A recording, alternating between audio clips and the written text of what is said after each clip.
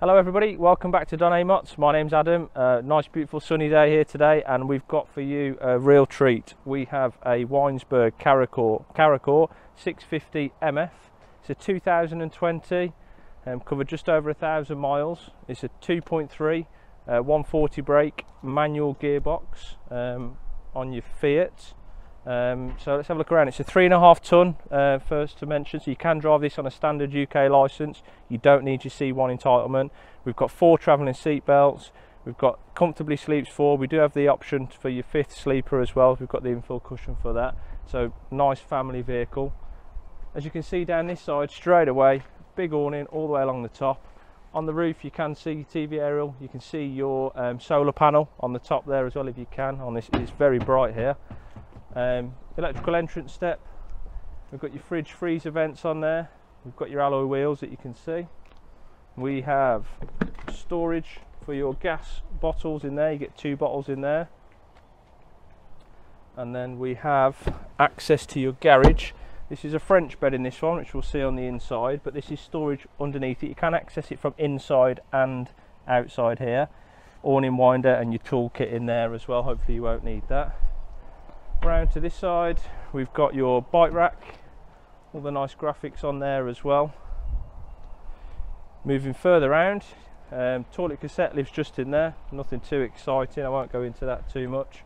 Um, and in here we have access to your freshwater tank your your wastewater drain off we've got your boiler drain off there electrical hookup comes up from underneath the van through the little hole just there so can, it's fully lockable so you can keep that locked and secure while you're in there.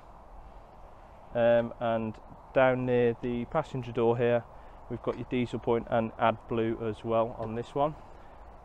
Entrance door into the cab. And then we'll move around and we'll go and have a look on the inside.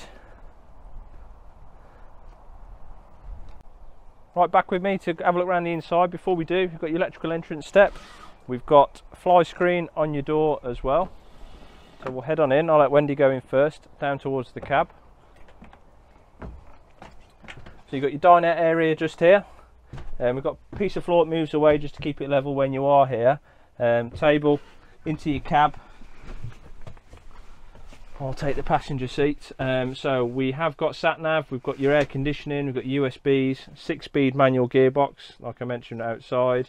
We've got your cruise control, all the usual features you'd expect. Got your important cup holders, one either side. and we've got your cab blinds, pulls down on the windscreen all the way down. And we've got curtains on the side windows as well to give you the privacy.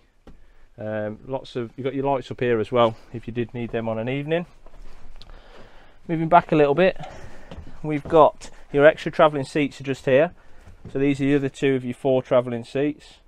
Um, table's adjustable and this does make up into a single um, at the front as well so this is where your fifth uh, person would sleep if you wanted them to. Bed above the cab. Um, first thing you need to do, pull your seats down, the lever on either side, nice and easily done. I've already undone the buckles, there's two buckles just securing the bed up there and there's a lever just behind here which I don't think you can see, just pop your hand on it and it pulls all the way down benefit of this one is that you can still use your dining area whilst the bed's down. So if you did have any little ones, I'll let Wendy go up so you can have a look. And they were in bed, you still can sit and use your table if you need to. You've got a skylight above the bed as well. So if you need some ventilation um, and you've got some holders at the top if you need to strap any reading material anything like that in and you've got your lighting up there as well. Above my head here, big sunroof which opens, just winds, fully opens and again on this you've got fly screens and blinds a feature all the way around the vehicle. Plenty of storage. Um, we've got some reading material in there your instructions and stuff. You've got more storage up here all the way around the van. Plenty of storage. Into your kitchen area.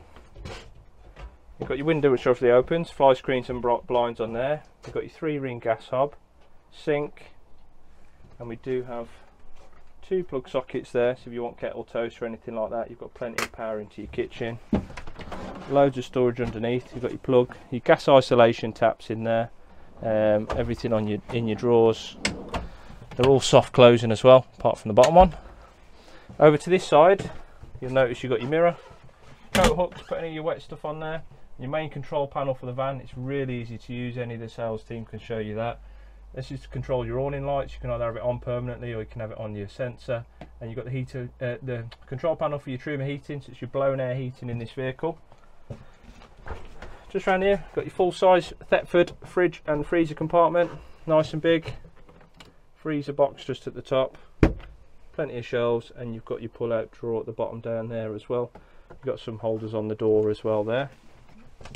Over this side, huge wardrobe, you've got hanging rail at the top, and a couple of shelves down there as well. Get all your essentials in there. Um, this is your French bed, part of your bedroom. Um, this, we saw underneath from outside, you saw the locker. Um, this is the other side of it. So if you can see just down there, you can see your awning winder. So you can access it from inside and out. Plenty of storage there, get everything you might need. We've got a TV just here.